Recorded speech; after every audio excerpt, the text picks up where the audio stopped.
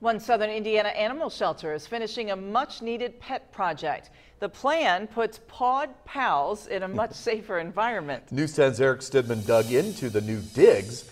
It's new tonight from our Southern Bureau.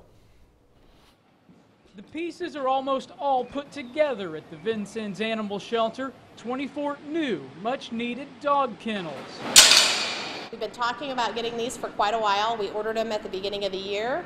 They had to manufacture them and fit them perfect for our needs. The call for kennels was certainly a need. Just take a look at the old setup. Animal Shelter Director Laura Ariel says the kennels were in horrible condition. Uh, they were falling apart. They were rusting out on the bottoms. Not to mention causing some canines accidental injuries and unsafe for nervous dogs. Dogs would get into fight fights with each other through the chain link. And as you can see, that's impossible now. The best part about this project is it didn't come out of the shelter's budget, or in other words, didn't cost city taxpayers a dime.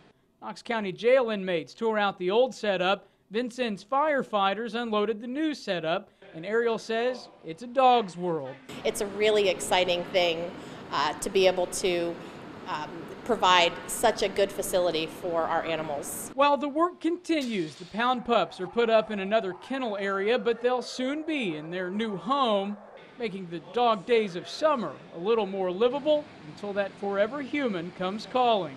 In Vincennes, I'm Eric Stidman, News 10. Dogs will begin moving into the new kennels Sunday. In total, the overhaul costs more than 30 grand, all raised through donations and fundraisers.